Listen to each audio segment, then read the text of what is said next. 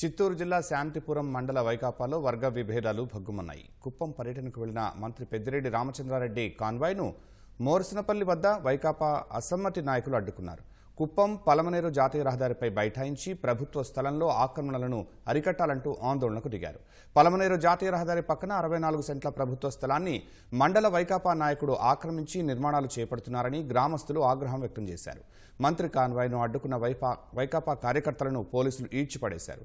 సమస్యను వినకుండానే మంత్రి పెద్దిరెడ్డి వెళ్ళిపోవడంతో వైకాపా మండల నాయకులు మండిపడ్డారు.